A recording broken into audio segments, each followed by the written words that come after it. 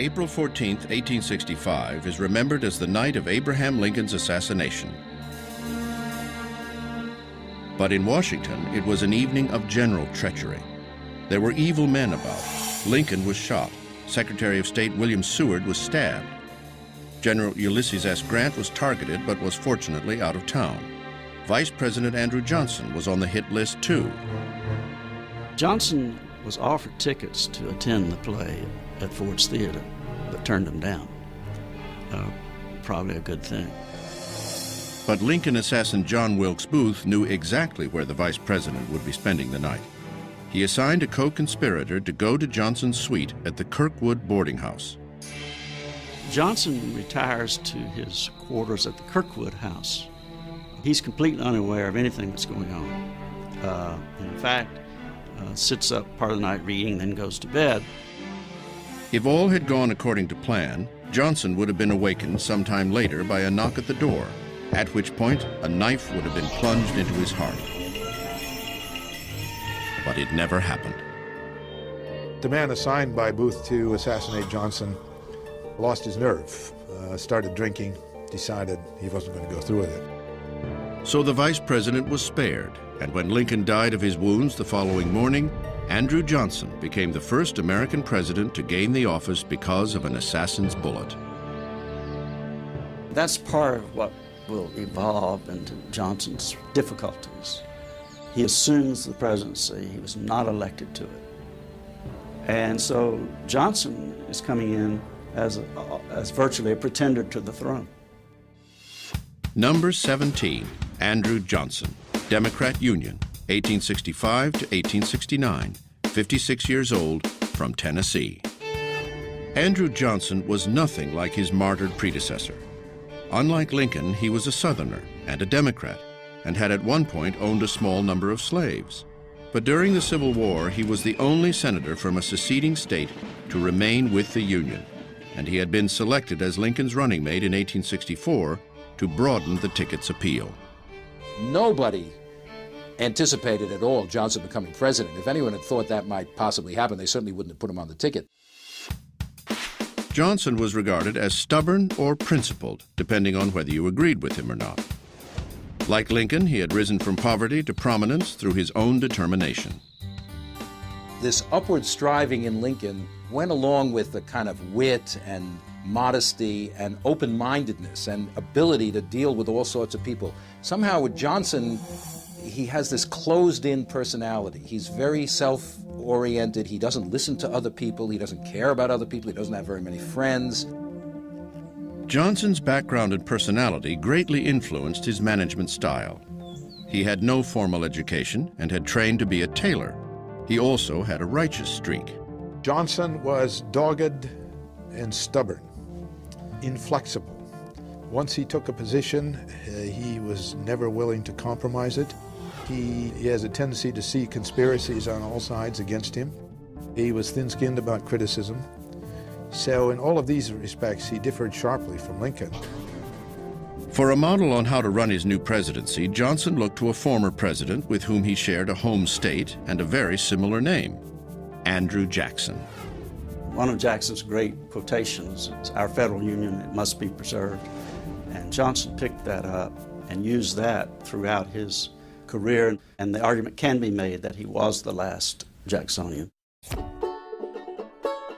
Like Jackson, Johnson believed he was the voice of the common man, or at least the common white man.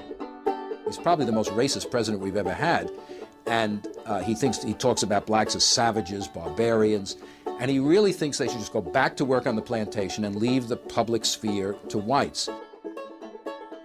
When Johnson took the oath of office, the Civil War was essentially over. Now it was up to the tailor from Tennessee to stitch the tattered Union back together.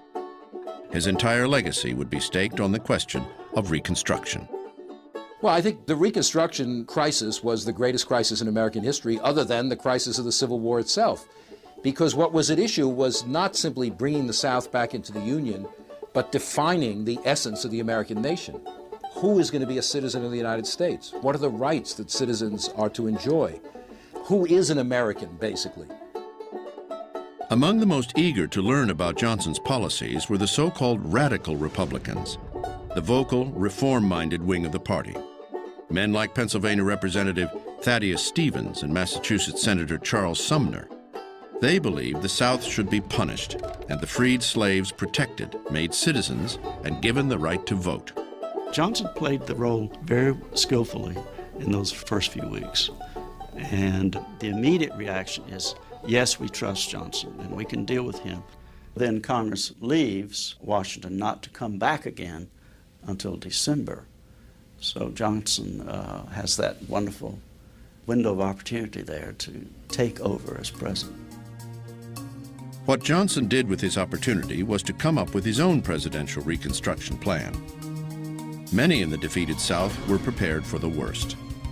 In April 1865, the South was lay prostrate at the feet of the conquering North, and many Southerners then were so shell-shocked that they would have been willing to accept almost any terms of Reconstruction.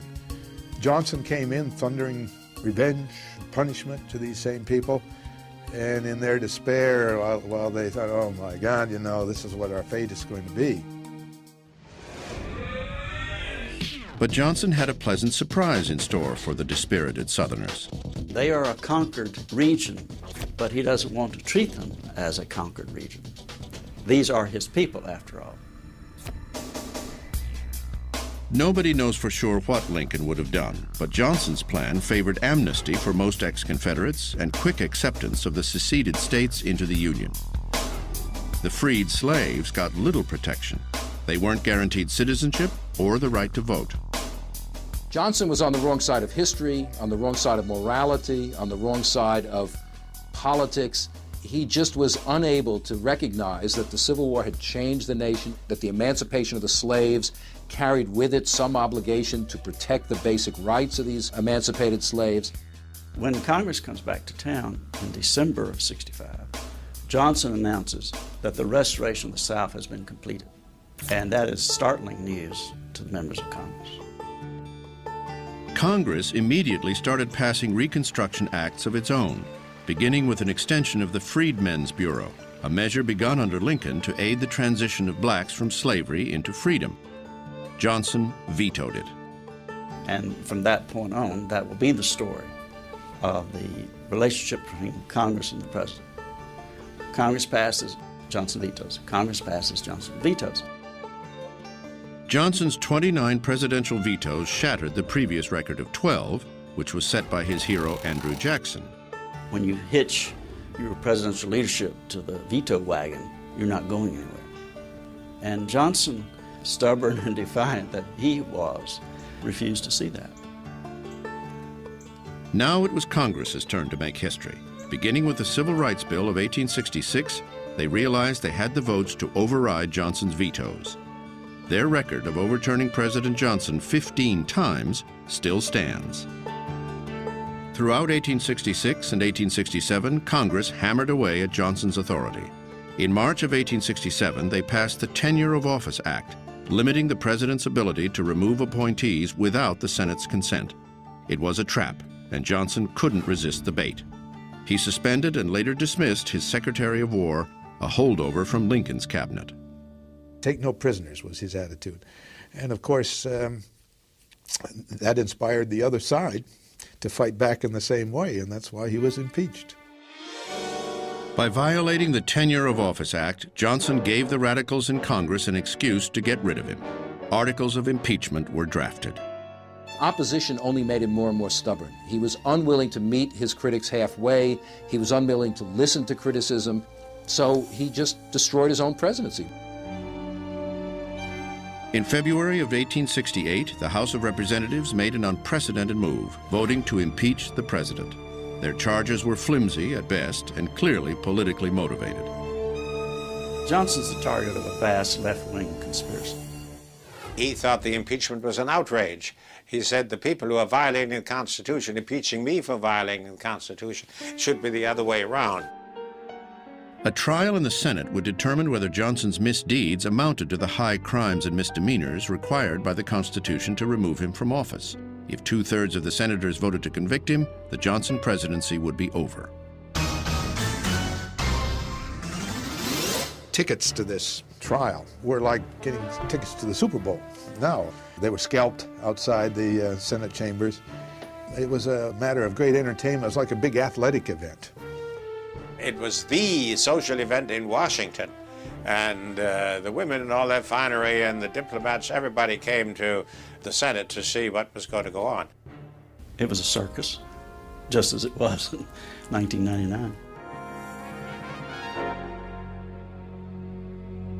In the end, Johnson avoided conviction and removal from office by a single vote.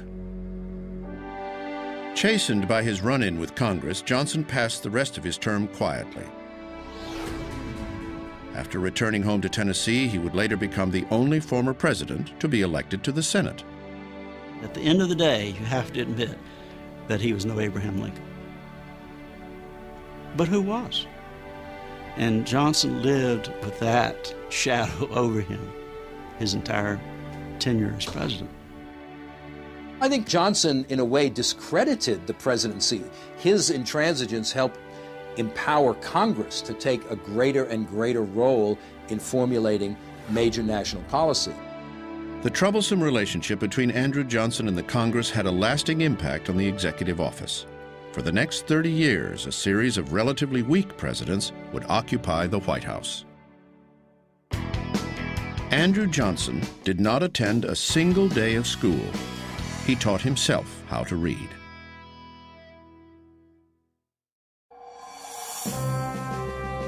He was hailed as the victor of Vicksburg, the hero of Appomattox, the savior of the Union. If there had been paparazzi in the late 19th century, no American's picture would have been more coveted than that of General Ulysses S. Grant. There were no movie stars in that period of time. There were very few authors that were well known. There was no television. Grant was as close to a star celebrity in the United States in the late 1860s and 1870s as you could have had.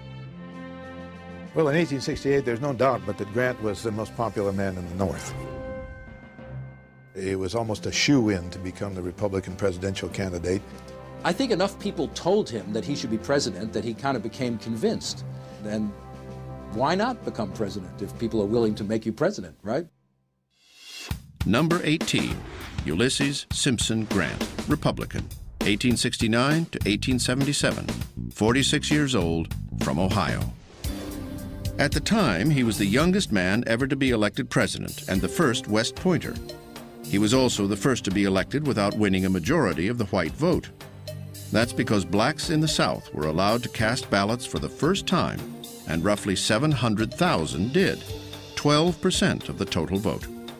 They voted almost, I think, to a man for Grant. They viewed him just as they had viewed Lincoln as central to their emancipation. Loyal to a fault, the silent general was humble and shy. As a soldier in the field, he would bathe in a closed tent so others wouldn't see him in the nude. He was also a surprisingly good artist. Some of his drawings and paintings still survive. Military heroes like Grant are supposed to cut a gallant figure in their uniforms, but descriptions of him range from rumpled to reeking of cigar smoke. Grant certainly was not a gallant figure. In fact, he was short, looked a little bit dumpy because of the way he carried himself. Grant was pretty short and kind of schleppy, to use a modern phrase. He frequently had a cigar in his mouth, which made him look a little more disheveled.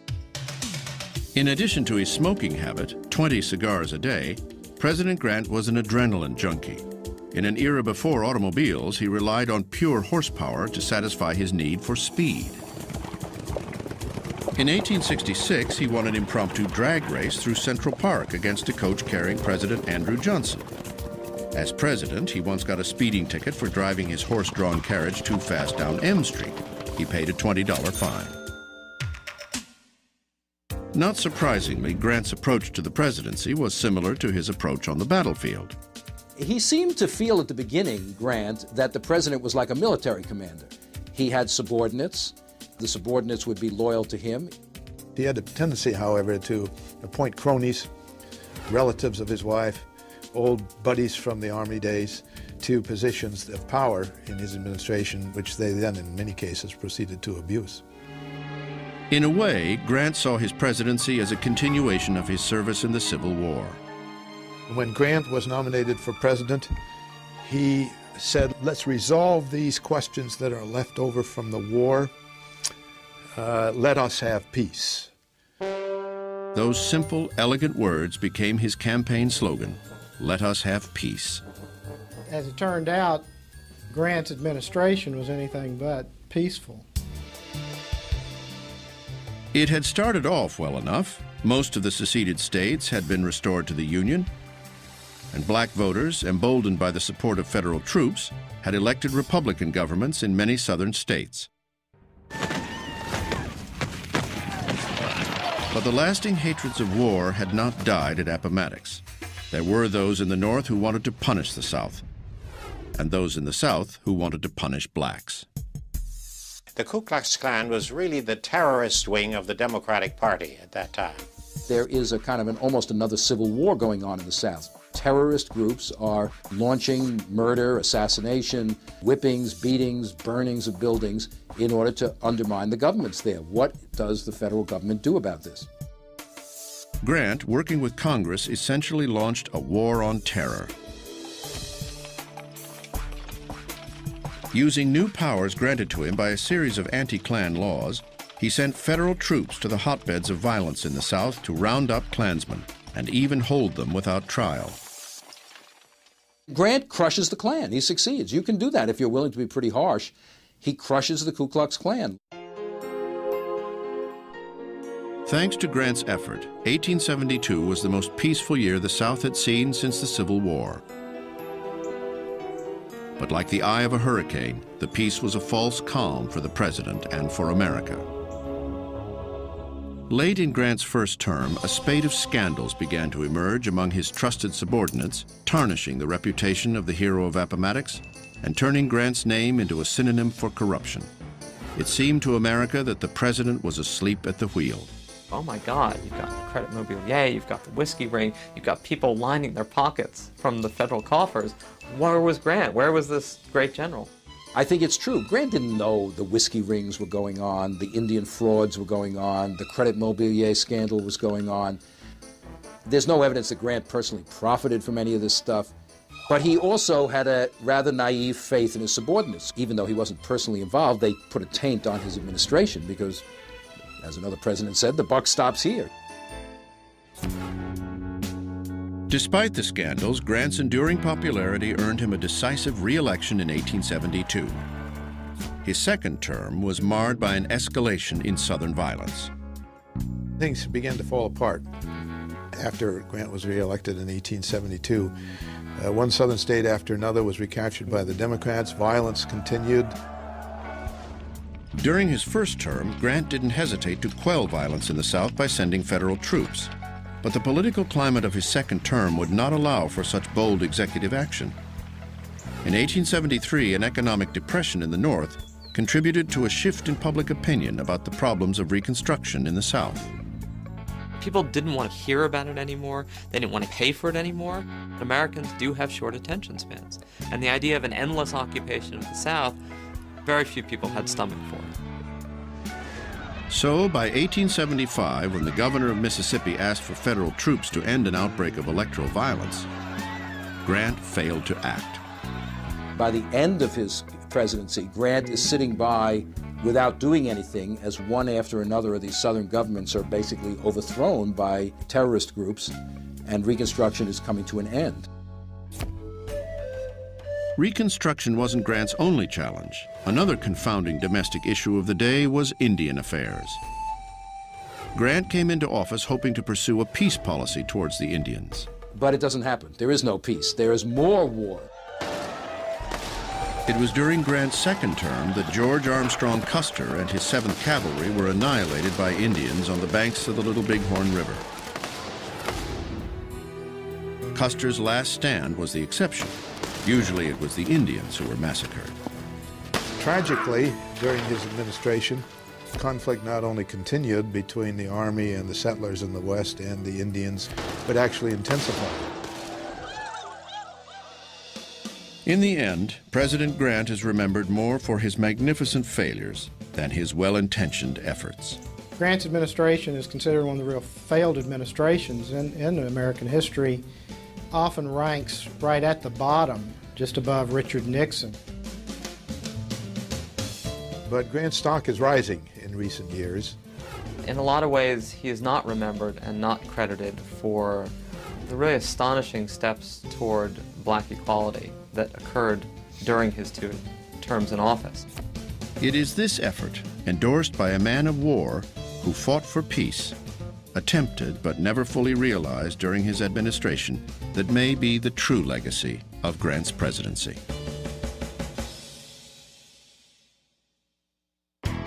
Ulysses Grant hated hunting, despised harsh treatment of animals, and the sight of blood made him physically ill.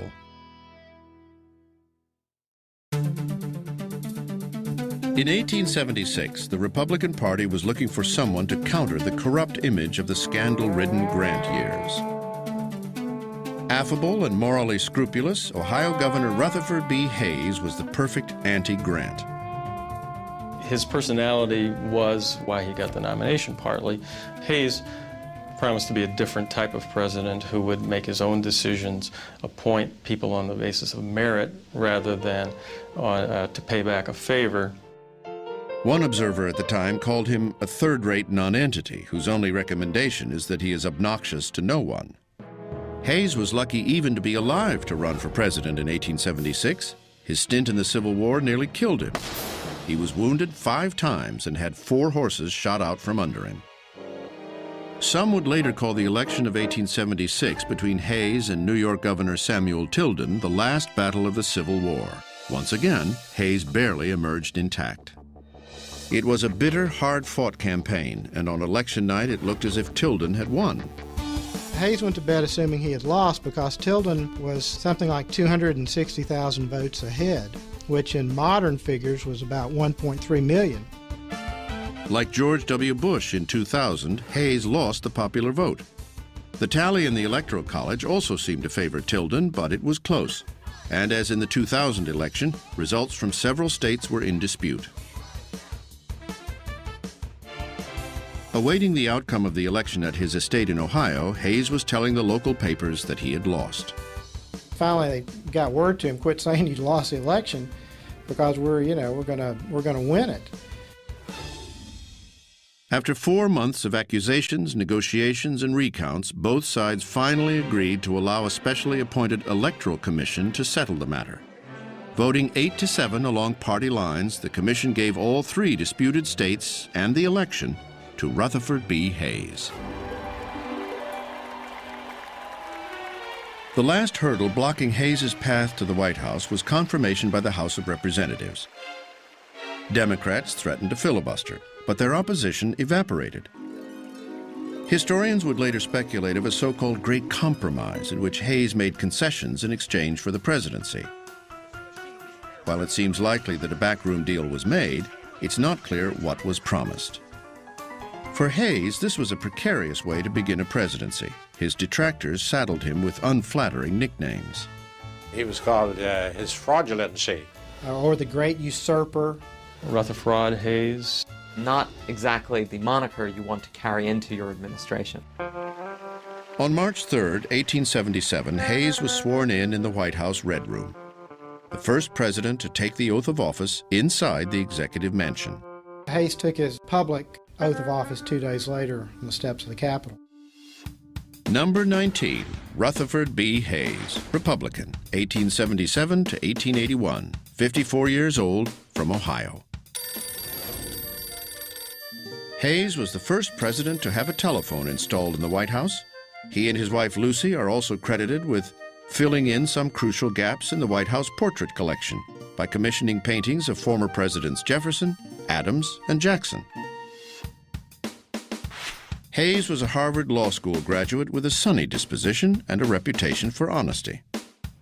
Hayes definitely was one of these people who came into office and just was crushed to realize the pettiness and the absurdity and the day in and day out dealing with human foibles, office seekers, uh, grievances. The Hayes White House was subdued. Lucy Hayes believed in temperance. She was called Lemonade Lucy. because uh, she banned liquor from the White House. And Hayes wasn't so strong on that, but he went along with his wife. The joke was that at, at state functions in the White House, water flowed like wine. President Hayes showed temperance in his management style as well. He approached everything from kind of a scholarly, legalistic approach. His style of leadership was to gather the information, consult the proper advisors, make a decision. Once a decision is made, try not to look back and be decisive. When Hayes took office, the country was still dealing with the legacy of post Civil War Reconstruction. Federal troops were stationed in the state houses of South Carolina and Louisiana to protect black supported Republican governments from takeover by the Democrats, who were mostly ex Confederates. In the most controversial act of Hayes's presidency, he ordered the removal of the troops from the state houses clearing the way for Democratic takeover of the last two southern states still under Republican rule. It was the symbolic end of Reconstruction. Some historians see this as a consummation of the backroom deal made during the disputed election. In the so called Great Compromise, Republicans allegedly agreed to give up control of the South if the Democrats would rescind their opposition to Hayes becoming president. Basically, you've got an exchange. Republican control of the White House in exchange for Democratic control of the state governments of now the entire South. Hayes has been vilified for his complicity in the deal, agreeing to end Reconstruction in exchange for the presidency. But historians point out that the Great Compromise of 1877 isn't exactly what it appears. The election of Hayes is taken very often as the ending of Reconstruction. But Hayes represented the faction of the Republican Party which wanted to end Reconstruction. And his nomination shows that the Republican Party was already retreating from further intervention in the South to protect the rights of black people. So the bargain or the compromise of 1877, which finally puts Hayes in the White House and is sort of the point at which Reconstruction ends, is an important moment, but it's also the culmination of a trajectory which has taken place for several years before that. Hayes was already interested in a new approach to the South. He was convinced that the return of civilian rule would bring with it a return of civility. Hayes believed that if what was often called the best men, the better sort, the well to do Southern whites came back into power, even as Democrats, that they would, in a sort of paternalistic way, protect blacks from violence, and recognize their basic rights. He was shocked when that didn't happen. This was probably the biggest disappointment to Rutherford Hayes because he really felt betrayed by the former Confederate leaders because they were supposed to be officers and gentlemen. Regardless of how the decision had been made, under Hayes's watch, the window closed on Reconstruction dooming blacks in the South to years of segregation and deprivation, and keeping the old Confederacy a white man's country for another hundred years. For better or worse, the great issues of the age had been settled, and as the Civil War faded into memory, the reformers in Hayes's party were in search of another defining issue. Some people thought that civil service reform would be as important as anti slavery had been. I have never quite understood that. The civil service meant government jobs like postal officials and tax collectors. These positions were used by politicians to exert influence and extort cash. There's no income tax. One of the largest ways of the federal government to collect taxes was on customs duties, and most of U.S. imports and exports came through or went out of the Port of New York. So the collector of the Port of New York was a really significant position in the federal bureaucracy at this time. The New York Custom House was the biggest source of patronage in the country, and consequently it tended to be quite corrupt. Appointments to the Custom House, including the position of chief collector, were controlled by New York's corrupt political machine, namely the so-called Republican stalwarts led by Senator Roscoe Conkling. In one of the few decisive moments of his presidency, Hayes removed the head of the Custom House, who was a Conkling crony, and replaced him with someone of merit. But the deposed crony would not have long to lick his wounds. His name? Chester A. Arthur who, against all odds, would become president himself within three years. In the final year of his presidency, Hayes became the first sitting president to travel to the West Coast, a move he hoped would bring unity to the country. Despite some calls for him to run again, he honored a campaign pledge not to seek a second term. He said no, he had enough. He really didn't like the presidency very much. In his typical positive way, Hayes was quite proud of the accomplishments of his administration. He thought he was the best president since John Quincy Adams, with the exception of Lincoln. Hayes retired to his home in Fremont, Ohio, where he spent the last years of his life working tirelessly for education reform and civil rights for black Americans. In doing so, he set a standard for future ex-presidents. Three different presidents occupied the White House in 1881. Rutherford Hayes, James Garfield, and Chester Arthur.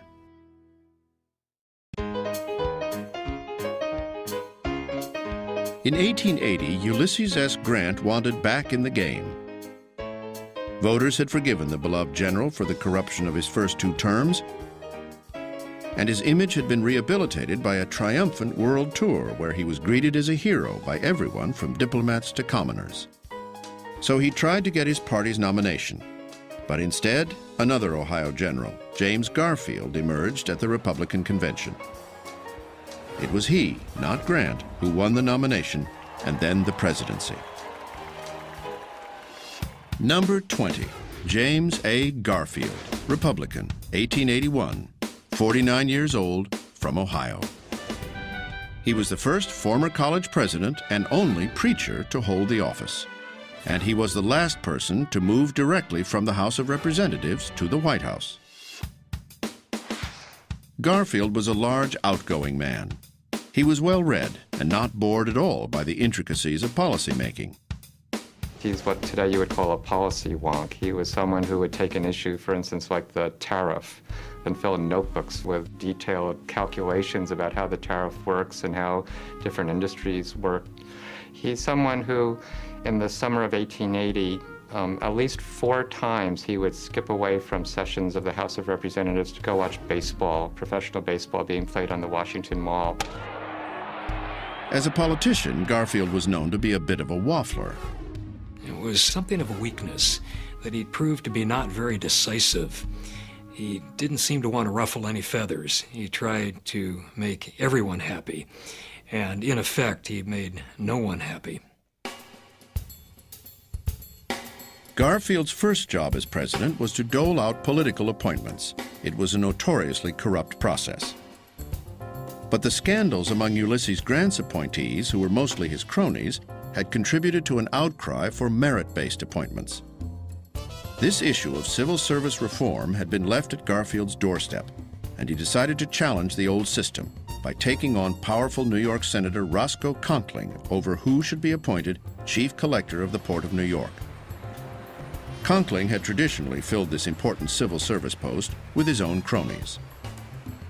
Now, as an analogy, imagine today, for instance, that the senator from the state of Virginia would point to the fact that the Pentagon is on the Virginia side of the Potomac River. Therefore, he should have control of who is the Secretary of Defense and all of his staff. It was that kind of claim, which at the time was actually very common.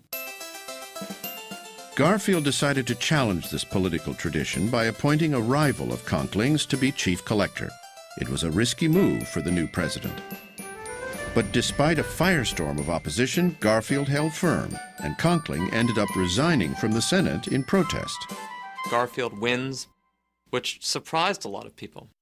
That was the beginning of the end of Conkling's machine and the old spoil system. Of course, Garfield didn't live long enough to see all the fruits of that victory. The series of events that would lead to the untimely death of President Garfield began in the early days of his presidency. When Garfield moved into the White House in his first days as president, he was barraged by questions of patronage and appointments. The White House itself was a very open forum. Anyone could walk in. There was no Secret Service protection at the time. Every day, Garfield would visit with office seekers. And while Garfield tried to limit himself to picking the office heads or the major positions, he couldn't avoid being barraged by the legions of job seekers. One of these job seekers was a man named Charles Guiteau. He was a strange fellow who had spent the campaign season of 1880 hanging around Republican Party headquarters in New York, and now felt he was owed a diplomatic appointment by the Garfield administration. He identified himself strongly with a faction of the party called the Stalwarts, which included Senator Conkling and Garfield's vice president, Chester A. Arthur. Yeah, he had at one point shook Arthur's hand and at another point made his way into Garfield's waiting area in the White House. But he was seen as somewhat of a joke. Upset that the Garfield administration ignored his requests for a diplomatic appointment, angry at Garfield's slight to Conkling, and believing he had a calling from God, Guiteau set out to remove the president. On July 2, 1881, Guiteau stalked Garfield to the Baltimore and Potomac Railroad Station in Washington and shot him twice. One bullet grazed the president's arm, the other lodged in his torso. As the police hauled Guiteau away, he declared, I did it. I will go to jail. I am a stalwart, and Arthur will be president. Charles Guiteau has earned the everlasting moniker of a disappointed office seeker, sometimes a disgruntled office seeker. But Charles Guiteau is not a disgruntled or disappointed office seeker. He's insane. Garfield didn't die right away. As he lingered, the assassin's bullet still in his body, every change in his condition was telegraphed across the country. Sometimes he would improve and almost look like he would uh, recover. But during that period, the nation really rallied to support the president, and he had far greater popularity after he was shot than before. We know now that Garfield may well have been killed by his own doctors or the efforts of his doctors to save him. They would stick instruments and fingers up into Garfield's back. The uh, medical care was, was atrocious, even for that era. In August, Garfield wrote a letter to his mother back in Ohio, telling her not to worry. It is true I am still weak and on my back, he wrote, but I am gaining every day and need only time and patience to bring me through. On September 19th, 79 days after being shot and only six months after taking office, the president died.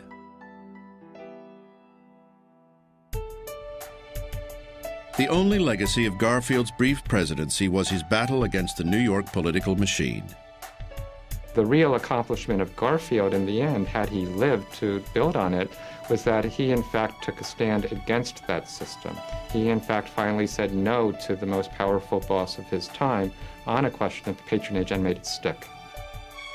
Garfield would become a martyr for the civil service reform movement. It would be up to his vice president, Chester Arthur, himself a product of the New York political machine, to continue the fight. During the two months that President Garfield lay dying from his gunshot wounds, Congress was out of session. It is said the country continued to run smoothly nonetheless. In 1881, Chester A. Arthur completed the most unlikely of political comebacks. Only three years after being removed in disgrace from his post as chief collector of the New York Custom House, he now found himself, by virtue of assassination, President of the United States. Number 21, Chester A. Arthur, Republican, 1881 to 1885, 51 years old, from New York. Arthur may have been a native of Vermont, but he was indisputably a New Yorker. He was someone who could pick out a good bottle of wine. He ate very well. He was a gourmand. He enjoyed drinking at, at, the finest restaurants and in the most exclusive clubs.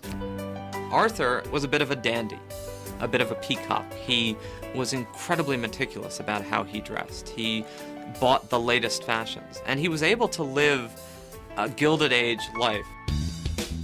Unlike many of the figures of that era, Chet Arthur did not have the full beard but he did have uh, full sideburns, which was certainly a distinguishing feature. Arthur looked like a president. In 1880, when he was elected vice president, Arthur had celebrated in his own way with a shopping spree at Brooks Brothers. In addition to being a high-living New York party animal, Arthur was also an avid fisherman. He took frequent fishing trips with his pal, New York Senator and political boss Roscoe Conkling. Arthur's management style was an offshoot of his personality. Arthur did not like to work hard. He is somebody who is routinely described as strolling into the Oval Office at 10, meeting with people, signing some papers, going for a ride or a walk at around 4 in the afternoon, taking a nap, and having dinner quietly with family and friends. Some people might perceive that to be kind of a lazy man's uh, presidency, but uh, actually is very efficient during those hours. But then after 4 o'clock, he figured that it was time now to relax. A White House staffer would later recall that President Arthur never did today what he could put off until tomorrow. Unlike most presidents of his era, moving into the White House felt like a social demotion to Arthur. Arthur came into the White House and says, I will not live in this house. And Arthur insists that the White House become renovated, and they spend many months renovating. And one of the people that he employs to renovate the White House is a very young Louis Comfort Tiffany. With the White House restored, Arthur set about restoring the faded Washington party scene. His wife had died in 1880, so the president's sister was his social hostess. Wine, champagne, hard liquor made a reappearance in the White House under Chet Arthur. And he brings that style to the White House. Garfield didn't have enough time to really place his stamp on the Washington social scene, and the Hayes had not exactly wowed anyone with their social panache.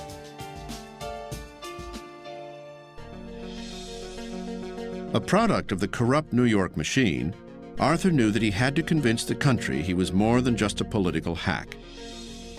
To do this, he would have to make a painful break with his old faction and its leader, his dear friend Roscoe Conkling. Much to the chagrin of Conkling and his faction, Chet Arthur really became a reformer, one of the great ironies in American presidential history. The man who was a product of the spoil system of New York uh, fought against it it is the Nixon going to China syndrome. Usually, the representative of the old system is in the best position to change that system. In 1883, Arthur signed the Pendleton Act, which was the first strong piece of civil service reform legislation. As one former colleague from New York observed, he is no longer Chet Arthur, he is the president. The other important achievement of the Arthur administration was a much needed upgrading of the United States Navy. The Navy by this point was considered to be an international joke. It had maybe three ships capable of standing up against the modern navies of the world. And the president took some action and began the building of a modern fleet of steel ships with rifled guns on their decks.